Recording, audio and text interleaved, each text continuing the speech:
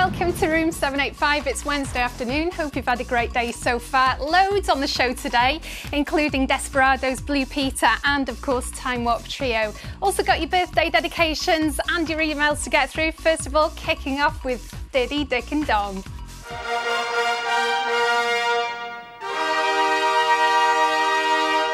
We're going over now to Annwen Smith, and she's going to tell us what they actually do.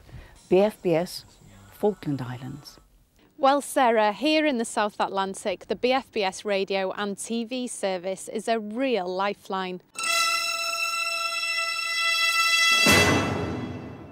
Annwen, what a fantastic time to be posted to the Rock.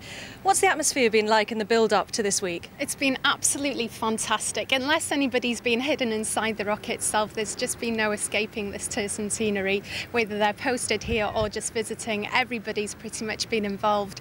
And that's in the build up to this week as well. There's been lots of excitement, lots of late night partying, and that continues throughout the year as well. While she's in Gibraltar, Grafton acts as the first Lords flagship.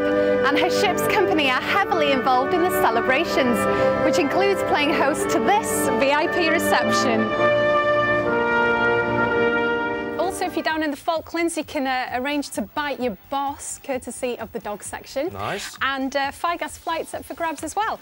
Now, over in Germany, they're doing all sorts. On Wednesday, you know, it's Sports Day. Yep, yep. Well, uh, get fit, raise a bit of cash at the same time. You know, yeah, five-side fancy some of that, football. yeah. Uh, something that might appeal more to you, though, Banks, because I know you. Yeah, I'm not. Bit of a belly on there. Hang on, what's going on here?